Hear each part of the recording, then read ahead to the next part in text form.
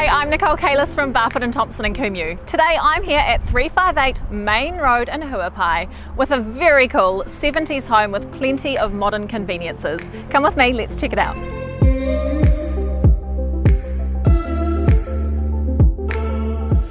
Well built in 1971 and lovingly renovated to today's standards is this chic three bedroom plus sleep out 148 square metre home.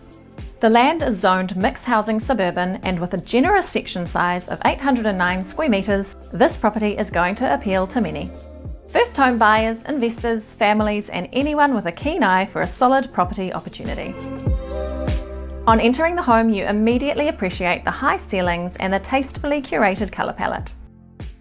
Drawn to the light and bright dining space with exposed beams and grooved ply feature walls, you can see and feel that this place is totally ready to be moved into and enjoyed.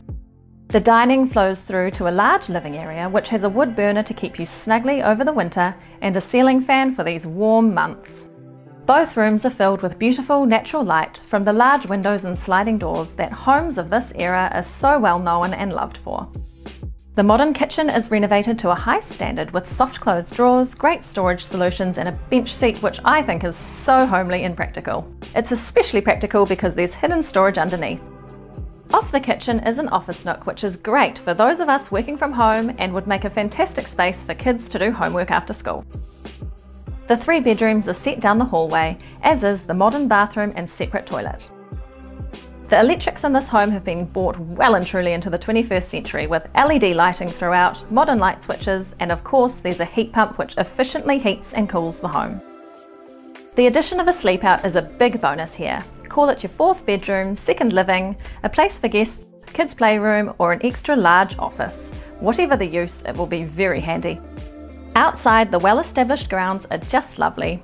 There's plenty of room for kids to play, there is a great patio with your own bar to host pizza nights or barbecues in complete privacy, and there are numerous fruiting trees which supply an abundance of fruit.